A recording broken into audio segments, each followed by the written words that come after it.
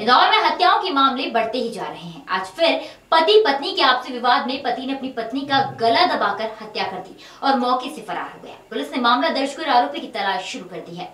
मामला द्वारकापुरी थाना क्षेत्र का है। यहाँ के रहने वाले युवक बलिराम मोची ने अपनी पत्नी की गला दबाकर हत्या कर दी और मौके से फरार हो गया।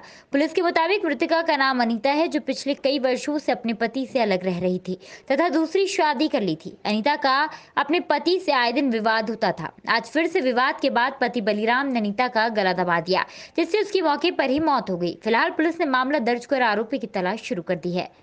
क्या हुआ था मुझे सुबह सात बजे वो मेरी मौसी हम मौसी बोलते हैं उन्होंने बताया कि तेरी मम्मी का डेड बॉडी बाहर, घर के बाहर पड़ी है।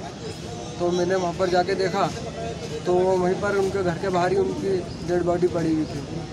तो मुझे पता चला, परसों के दिन मेरी मम्मी ने फ़ोन लगाया था कि वो जिनने जिनके साथ शादी करी थी उनने। तो उनका वो पति और उनकी माँ, उनको गला दबा दबा के रोज़ डेली मारा ठोकी होती थी उनके घर पे। तो चक्कर में और वो रिक्शा रिक्शा चलाते थे तो पैसे देते नहीं थे। तो मेरी मम्मी पैसे का बोलती थी, मेरी मम्मी भी काम करती थी बंगले पे। तो उनने उस आदमी को बोला कि पैसे वैसे क्यों नहीं देते हो तुम? तो वो चक्कर में उनके झगड़े होते थे।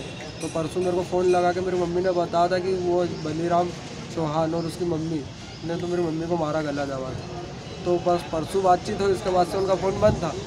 तो आज सुबह मेरे को मेरी मौसी ने बताया कि तेरे घर तेरी मम्मी के घर के बाहर उनकी डेड बॉडी पड़ी तो मैंने जाके देखा तो वहाँ पर मेरी मम्मी की डेड बॉडी पड़ी। किसने मारा इनको? बलीराम चौहान ने उन्होंने थाने में ही ये कबूल कर लिया है काय से मारा है? अब ये नहीं बताया उन्होंने कैसे मारा वो बोल रहे कि मेरा गला दबा के मारा। और वो बोल रहे कि मैंने अकेले ना मारा और मुझे सके कि उन्होंने अकेले नहीं मारा। बलिराम? उनका दूसरा पति। आप क्या पहले पति के बेटे हो? हाँ मैं पहला पति का। क्या नाम है आपका? मेरा नाम सुमित है। कहाँ के रहने वाले हैं और ये? कौन? ये कहाँ पर मतलब बॉडी ये दिग्विजय सिंह ये दिग्विजय हरखेड़ी मल्टी है ना? वहाँ का। आपकी माता जी का नाम क्या था? मेरी मम्मी का नाम अनीता था। क्या उम्र थी उनकी? उनकी उम्र थी पैंतालीस साल पैंतालीस साल। हाँ। आपका नाम बता दीजिए। मेरा नाम सुमित है। आप क्या लगते हैं इनके? मैं उनका छोरा हूँ। सर एक महिला के हत्या का मामला सामने आया क्या है पूरा मामला सर? अनिता पति बलिराम मोची उम्र 50 वर्ष।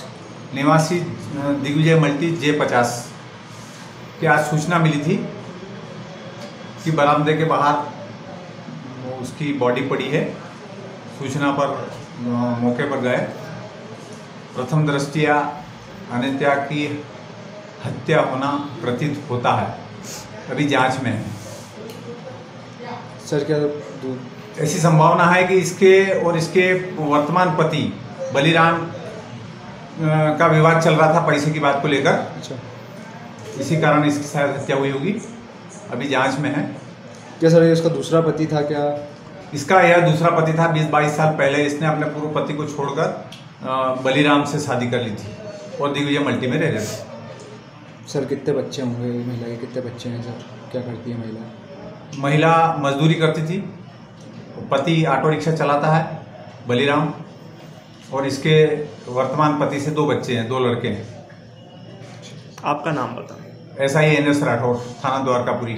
सर क्या आरोपी को गिरफ़्तार कर लिया गया है?